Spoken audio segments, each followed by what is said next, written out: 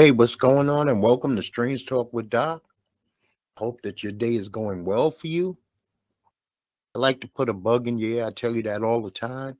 Listen, this is not about me saying that I got some knowledge that you don't contain within yourself, that you are less than I am and I'm greater than you. That's bullshit. I don't go down like that. I don't get down like that. I just like to put a bug in your ear. And today, my bug is going to be personal, but then it affects you or anybody who's listening also. I'm a black male and I'm very proud of that. I don't even know what that 100% means. I was born black, I was born a male. I have no control over either one of those. Those were predetermined for me. But because I turned out the way that I am, I am very proud of who I am and what I am. Okay, so I guess that clarifies it. But I also love golf. This is a game that I've been ostracized. I've been made fun of because there's no way a black male from quote unquote the streets, the ghetto, is supposed to love a game called golf. I grew up in a time before Tiger Woods. There was no Tiger Woods, even though I heard of plenty of Tiger Woods jokes. Uh, I could not get my friends to come partake in it. I've always had to play this game with others, meaning Hispanics or whites. I could never get a young brother from the neighborhood who was my age to come partake, even going to driving range. I know that things have gotten better and people now partake in things that they didn't normally do.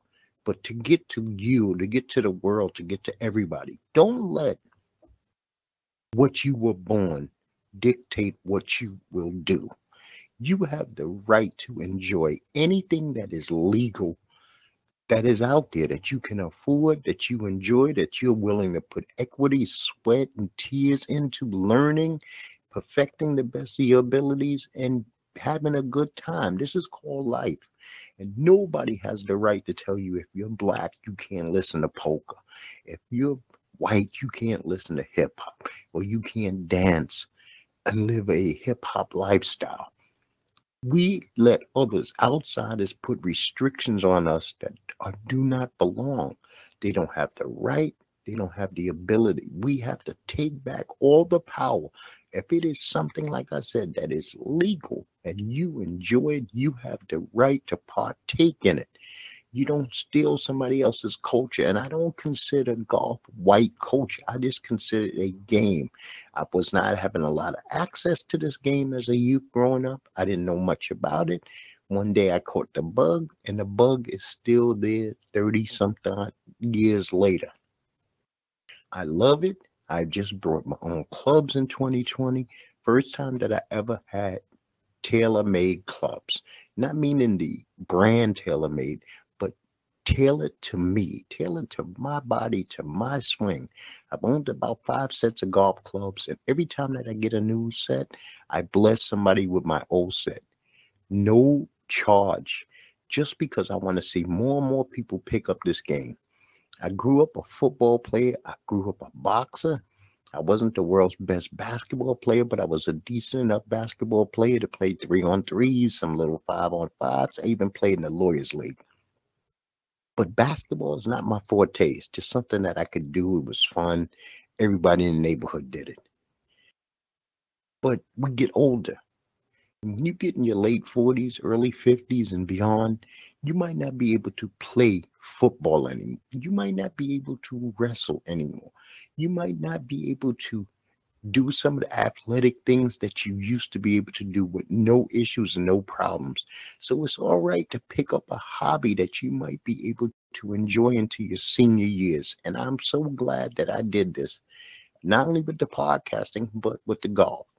So, like I said, once again, I'm not going to belabor the point. Don't let anybody dictate to you because of where you come from, who you are, the nationality your nationality, your skin tone, what you should and should not be involved in. If you truly love it, you will find time for it, you will learn it, you will invest in it, and you will try to be the very best. You're not trying to take anything away from anybody. So, Pat Studstill, an actor who used to be an athlete, he was in the NFL and he used to be on the Dukes of Hazzard. He died at the age of 83. Peter Scolari, who won an Emmy for Newhart, was on bosom buddies with uh, Tom Hanks. He passed away at the age of 66. And Tommy DeBarge from the group Switch, he wasn't a member of the DeBarge. He's a member of the DeBarge family, but he wasn't in the DeBarge family group. He was actually in a, another group called Switch. They had a couple of hits. He died at the age of 64. And unfortunately, I didn't know that Sarah Dash from LaBelle, and she used to sing with the Rolling Stones. She passed away at the age of 76. Now, this might have been in September, so forgive me. And James Michael Taylor, Tyler from Friends TV show. I guess he worked in that uh, coffee shop. He died at the age of 59. So I say rest in peace to all of them. The COVID cases in the US are up to 47 million cases. 756,000 people have died. We up to 413 million vaccinated people. Now, worldwide, we up to 245 million cases and 5 million people have died. Now, this Delta variant has taken another turn, but United States government is not going to close its borders to Europe and foreign countries. So it seems like we keep getting stuck in the mud. I mean, I wish somebody had a great answer for this, but nobody seems to. So we'll do what we can. You be safe. You do what you're supposed to do. Get inoculated be careful. If you can distance yourself at times, distance yourself. Wear that mask. Stay safe. Stay healthy for yourself. Stay healthy for your family. Stay healthy for general public. So Nikolas Cruz, he plead guilty. He pled guilty to 17 counts of murder and 17 counts of attempted murder in the 2018 Marjory Stoneman Douglas High School shooting. This kid is an a mess, man.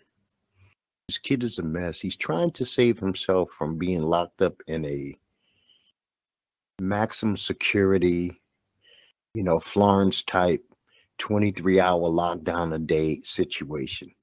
But for him to sit there as he pleads guilty and then come up with an excuse that marijuana had anything to do with his brain being the way it is, is weak. It is really weak.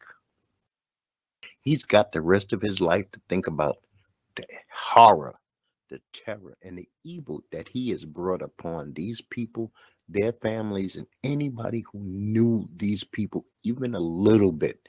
These were kids, man. These were kids who didn't even get a chance to live, and he snuffed their lives out. And Nikolas Cruz really has nothing that he can say or do in this world which will make anything any better for anybody. He needs to go away. The judge needs to throw the book at him. Let's rid ourselves of this guy and let him move on. So Alex Baldwin discharged a prop gun on the movie set that killed the uh, cinematographer and injured the director.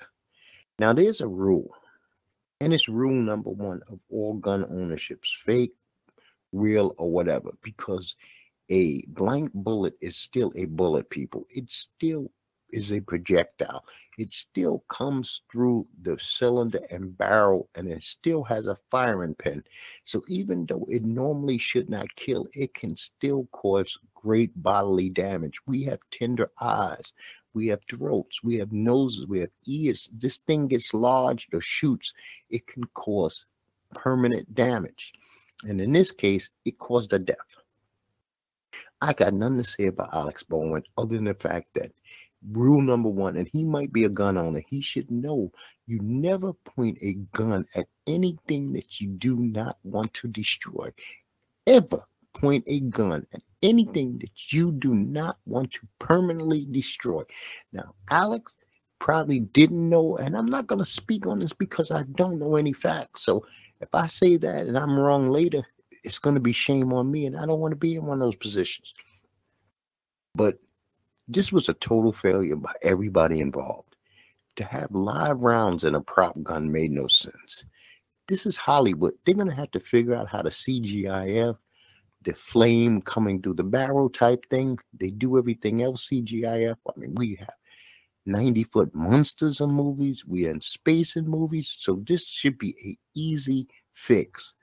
There's no need for guns of any sort that can literally fire even a blank.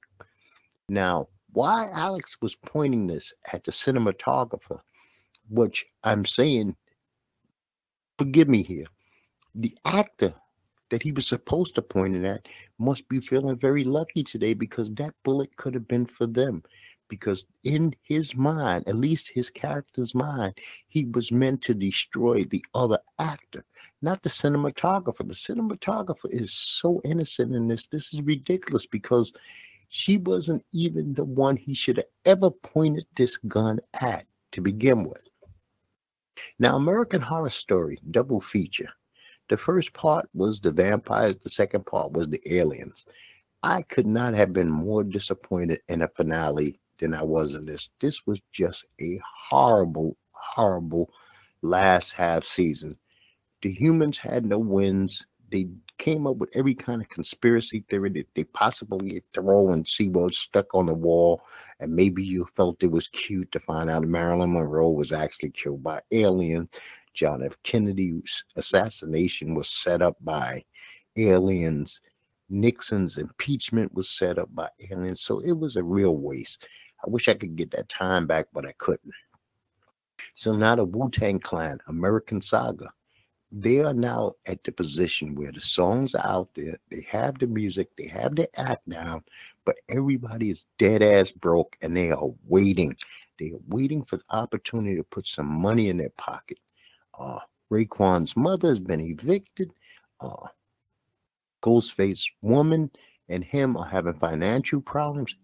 So for the most part, other than just two or three people in the clan, everybody else is sweating the next dollar. I mean, so far it seems like ODB is just rolling with the flow. Method Man is not sweating it. Uh, the GZA's not sweating it, and RZA's not sweating. But for the most part, everybody else is really waiting for some money to flow through. Now we know how this turns out. But this is interesting to see one, how they developed the songs, two, how they held themselves together because U-God was arrested for selling drugs in the last episode because he still needs to eat. Now, the impeachment, American Crime Story season three, the impeachment, Monica Lewinsky and Clinton uh, we are now entering a phase where he has to testify. And they got Clinton lying like a mother effer, man. I mean, Clinton is lying big time on the stand. And so that's that's quite interesting. Saturday Night Live is back. I found out that Curb Your Enthusiasm season 11 reopened last night. I have not got to see Saturday Night Live's episode yet. I have not got to see the episode of Curb Your Enthusiasm, but Curb Your Enthusiasm has always been funny. And I haven't even seen Bob Hearts Abishola this week. Now, what I did watch was The Dark Side of the Ring, and it was extreme and obscene. The Rob Black XPW episode. This was an interesting wrestling organization that I did not know much about, and I pretty much thought I knew wrestling, but it was like a this Rob Black was a porn producer or something like that. He also owned this extreme pro wrestling, who he seemed to have a lot of beef with. ECW, they had used same wrestlers. At least they used uh, New Jack on and off. Maybe Tommy Dreamer, people like that. And there was a break between Paulie and Rob Black, and there was some things done. Uh, Mr. Black would not take part in this particular documentary. So we all getting everything from just one side, and that's it. Law and Order, both Law and Orders suffered this week from some pretty bad writing. I don't know why we were flashing back to Liv's prior life. Uh, uh, the fact that she didn't even see that her being in a relationship with a 21 year old when she was 15 was a form of sexual abuse, even though she cuffs and locks people up for this on a weekly basis for 22 years on this show.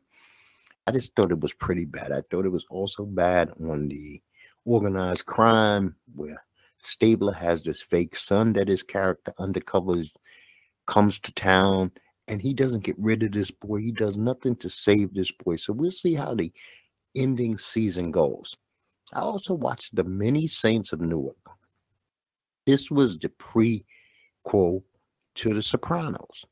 Now, if you're expecting a lot about Tony Soprano's character, you're not going to get it. Tony Soprano's son, who played uh, him young, he's not really hugely featured in this. This is about Uncle Dickie, Uncle Dickie Moltisanti, the guy who basically ran the family. So it was kind of interesting. Was it great? No. Was it good? Yes, I will say that it was a good watch. I enjoyed it. I know a lot of people didn't, but I enjoyed it. I don't think that you got to have shooting in a gangster film every 16 seconds to tell a story. And this leads into potentially watching Tony grow up his teenage and early 20s to 30 years to see how he really rolls. Because when this ended, he really wasn't a gangster. He's a kid. Okay. He is just a kid trying to make it. He's a kid listening to his music, hanging out with his buddies, not really involved with a lot of stuff, just little minor things here and there. He loves football. He's playing football. So that's how it's going. The UFC had a card this weekend. Paulo Costa, who came in tremendously overweight early in the week, they had to bump this fight up from 185 to 205. He fought Marvin Vettori. Now, Dana says that Paulo no longer can fight at 185, but he now has to fight at 205. And Paulo Costa is saying, No, I can do it. But so far, he hasn't proved that he can. I mean, he at one point he was 26 pounds overweight, and this was like a week leading up to the fight. Made no sense. This was a very good card. I will say it's a very good card. If you have not got a chance to see it, it was on ESPN and ESPN Plus. Just look up the Paulo Costa versus Marvin Vettori uh, UFC card, and there are plenty of good fights on this card. Now, next weekend from Abu Dhabi, UFC 267 Jan Blachowicz is fighting Glover Teixeira. Petr Yan is fighting Cory Sandhagen for the interim bantamweight title. And Jan Blachowicz and uh, Glover Teixeira, Teixeira is fighting for the 205 title. So that should be interesting card. So congratulations to the Braves and Astros for both making it to the Major League World Series which will be starting shortly. Uh, I don't care about either one of these teams, but I really dislike the Astros for cheating my Yankees a couple of years back. So I'm hoping that the Braves, for the first time since the 1990s, can have the World Series championship come to Atlanta. Good luck, Braves. Thursday, we had the Browns beat the Broncos wasn't a very good game, but it was what you expect from a Thursday night without starting quarterbacks. It was 17 14. Now, yesterday, the Falcons beat the Dolphins on a late second field goal. The Dolphins are just snake bit, man. Uh, I don't know what uh, this Brian Flores is doing. Once again, like I said, they lose a game on a last second field goal. The Giants shocked me yesterday. They beat the Panthers and they beat them handily, 25 to 3. The Bengals stomped a mud hole in the Ravens' ass 41 17. Joe Burrow to uh, Ja'Marr Chase is something special to watch. If you have not seen the Bengals and you get a chance to see the Bengals, you want to see that tandem. It is awesome. So far, it's not being stopped by anybody. And um, I was totally shocked that the Ravens, especially at home, didn't show up more than they did in this game. The Titans stomped the Chiefs 27 to 3. They also hurt Patrick Mahomes. He had, uh, but so far I heard that he is past uh, protocol for concussion, but he had to leave the game. They were never in this game. The Titans were on him from the jump. Patrick Mahomes had like three or four turnovers. This seems to be something going on in the Chiefs. Other than just the defense, the offense isn't clicking either the Patriots decided to go all college on the Jets and stomp them out 54 13. I believe that uh, Belichick purposely ran up the score because it's a division rival. It was against a rookie, and he wants to let everybody knows when he gets a chance to put his foot on your throat, he's going to do it.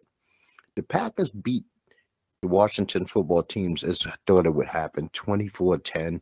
Washington is not much of anything. that young defense, Chase and Sweat, are not doing much this year at all. I don't know if it's sophomore jinx or whatever it is. The Rams beat the like the, the Lions.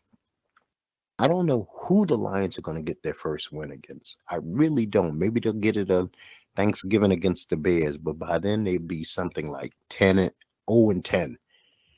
So the Rams had an easy day. The Raiders beat the Eagles 33 to 22. This was expected.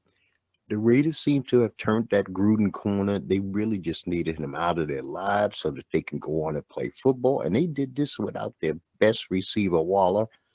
The Bucks stomped the Bears 38 to 3. Brady is looking as good as he has during his 30s, and he's now a 44 year old man. I mean, he did not missing a beat. The Cardinals, who are undefeated, beat the Texans 31 to 5. This game was never in doubt. The Cardinals look good. Kyler Murray with those receivers, awesome. They then added Ertz, who's already scoring touchdowns and getting passes. And he actually even blew another touchdown by going the wrong direction. It was miscommunication. And the Colts beat the 49ers last night, 30 to 18. The 49ers are not who people thought they are. I believe that they're fraud of a team. Garoppolo is not very good. I think he's way overrated, way overpaid. And tonight on Monday Night Football, we got the Seahawks without Russell Wilson. They're going to play the Saints. So I'm taking the Saints at home to beat the Seahawks. Now on Thursday, we got Green Bay versus Arizona. This is a prime time game, and this should be a prime time game.